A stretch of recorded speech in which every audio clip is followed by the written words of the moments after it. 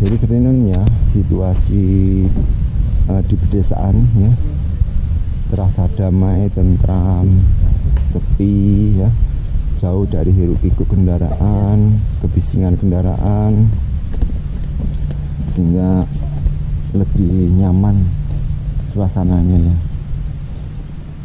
Lebih enak lebih nyaman. Kita akan coba melihat kandangnya kita akan coba melihat kandang kambingnya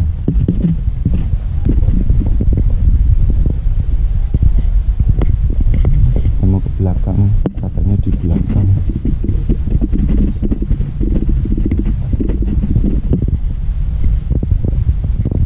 Nanti ternyata di situ.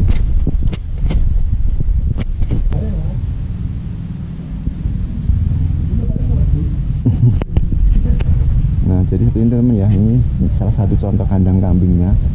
Dia dikasih onggo-onggo, apa ya istilah bahasa Indonesia itu eh, agak atas apa ya namanya? Kalau bahasa Jawanya dikasih onggo, angga, onggo-onggo ya supaya dia nggak langsung ke bawah ke tanah. Karena kalau kambing ini rawan dengan masuk angin ya temennya. Istilah eh, gampangnya tuh masuk angin ya. Jadi kalau dia langsung terkena tidurnya di tanah dia akan menyebabkan uh, sering resikonya masuk angin ya. Jadi makanya dikasih tangga seperti ini supaya dia lebih aman lebih hangat dan terhindar dari masuk angin tentunya. Ini adalah peliharaan kambing peliharaannya Mas Ikar tentunya.